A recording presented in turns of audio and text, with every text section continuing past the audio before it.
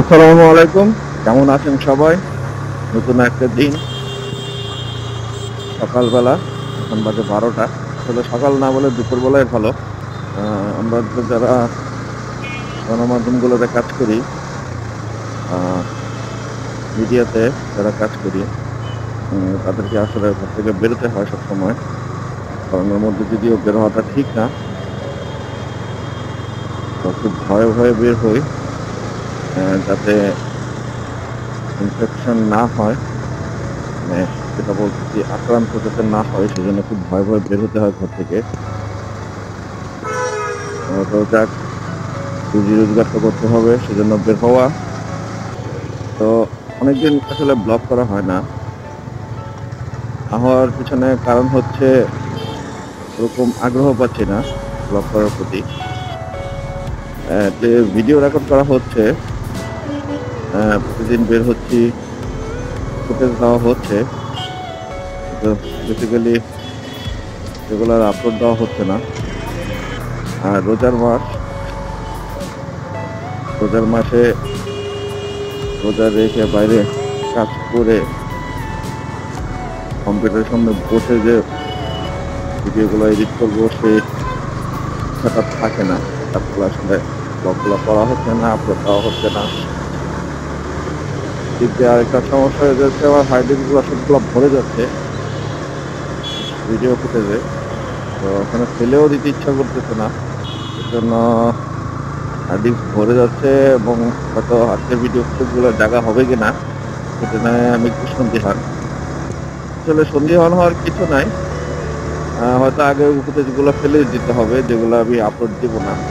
অনেক পুরানো, অনেক দিন আগের ফুটেজ রয়ে গেছে বিভিন্ন জায়গায় দুর্ঘটনার আমার কাছে আছে। আসলে সেগুলো আপলোড দিচ্ছি না। এগুলোর অডিও কোয়ালিটি এত খারাপ আসছে আসলে ওগুলো আপলোড দেওয়া না দেওয়া একই কথা।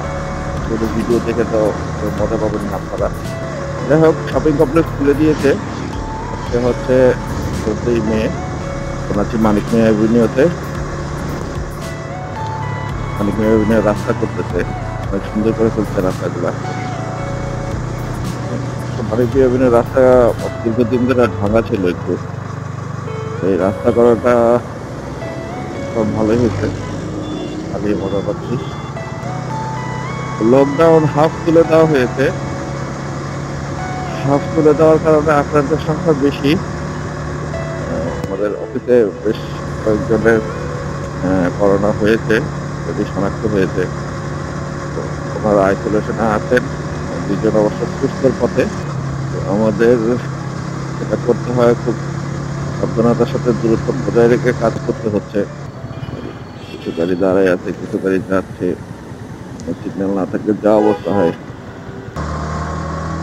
বেসিক্যালি আমার যেটা মনে হচ্ছে যে লকডাউন লকডাউন বিশ দিন যদি কড়াভাবে করা হতো কেউই যদি ঘর থেকে বের না হতো, তাহলে হয়তো করোনা ভাইরাস এত ছড়াতো না।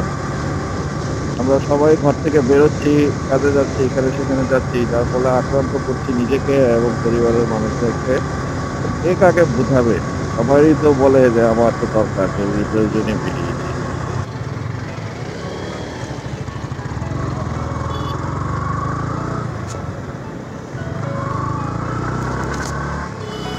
কনফিউজিং মুহূর্ত যেহেতু ট্রাফিক পুলিশ নাই। সবাই যে যার মতো চালাচ্ছে যেহেতু আমার চ্যানেলের সাবস্ক্রাইবার কম, আসলে সেজন্য আমি আসলে ব্লগগুলো দেওয়ার উৎসাহ পাচ্ছি না। দিয়ে কি লাভ? এটা চিন্তা করে আসলে ব্লগগুলো দিচ্ছি না। পার্সোনালি দিচ্ছি ব্লগগুলা ভিডিওগুলো আপলোড করতেছি। যাতে থেকে যায় ফিউচারে কখনো যদি দেখতে ইচ্ছা করে যে এরকম একটা সময় ছিল, যেখানে জায়গায় ঘুরতে গিয়েছি। সেই হিসেবে আসলে ভিডিওগুলো দেওয়া। তো আজকের মতো আর কিছু বলতে চাচ্ছি না। এখানে শেষ করছি। যেহেতু অফিস কাছে চলে এসেছে। এসে দেখে যাচ্ছি। তো যদি ব্লগটি আপলোড দিই তাহলে তো আপনাদের সাথে দেখা হচ্ছেই।